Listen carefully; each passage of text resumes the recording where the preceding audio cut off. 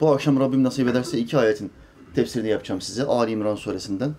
Ayetler bize selim akıl sahiplerinin, gerçek salim olmuş, bütün bağımlılıklardan kurtulmuş, temiz akıl sahiplerinin nasıl düşünmesi gerektiğini, Allah'ın kudretini nasıl anlayabileceğini anlatan ayetler. Ya hocam biz zaten Allah'ın çok kudretli olduğunu biliyoruz diyebilirsiniz bu ayetleri dinleyinceye kadar. Her insan der ki ben zaten Allah'ın çok güçlü olduğunu biliyorum. Hayır. Hayır. Bildiğini zannediyorsun. Bunun işareti ne? Çok az zikrediyorsun. Ve Allah'tan korkmuyorsun.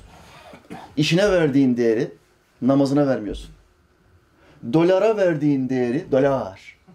Sevaba vermiyorsun. Bak demek ki Allah'ın kudretinin farkında değilsin.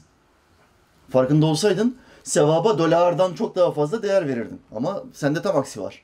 Dolara sevaptan daha fazla değer veriyorsun. Halbuki dolar kabre kadar. Kabre gittiğin anda doların değeri sıfıra düşüyor. 13 TL'den sıfır olduğunu düşün doların.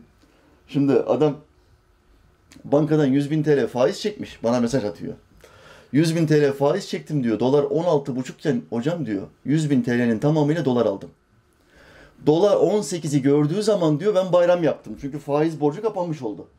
Bundan sonrası hep kar hocam dedim diyor. Allah'a savaş açıp kazanan ve sonunda huzurlu olan, mutlu olabilen bir tane adam gördünüz mü? Kumar oynayıp zengin olan bir adam gördünüz mü siz? Kumar oynamış ve huzurlu, mutlu. Çok mutlu. Zengin olmuş kumardan. Var mı? Ancak Hollywood filmlerinde olur. Gerçek hayatta böyle bir şey mümkün değil. Dolar bir çıkıyor 18'e adam bayram ediyor. Sonra reisi cumhur bir açıklama yapıyor. Tak 12. 18 bir saat içinde tak 12'ye iniyor. Adam kalp krizinden hastaneye. Hocam diyor bu gece az daha dolar şehidi olacaktım. Bana hastaneden mesaj atıyor. Allah'ım bu kardeşime hidayet nasip etsin. Ve bu kardeşim sadece kusurunu itiraf eden ve bundan kurtulmak isteyen bir kardeşim. Bunun gibi gizli kapaklı bankaya gidip kredi çeken, Allah ve Resulüne savaş açan ve parasını dolara, euroya yatıran bir sürü insan var. Oradan kar yapacak da devlet batsın önemli değil. Ben bütün paramı dolara yatayım, kendi param değer kaybetmiş, devlet batacakmış bana ne? Ben cebimi doldurayım yeter diyen bir sürü saf Müslüman var, cahil Müslüman var, kötü niyetli, art niyetli Müslüman var.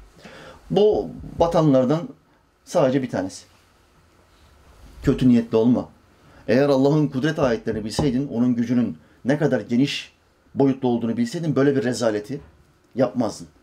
Onun senin yapacağın her işten haberdar olduğunu da bilirdin.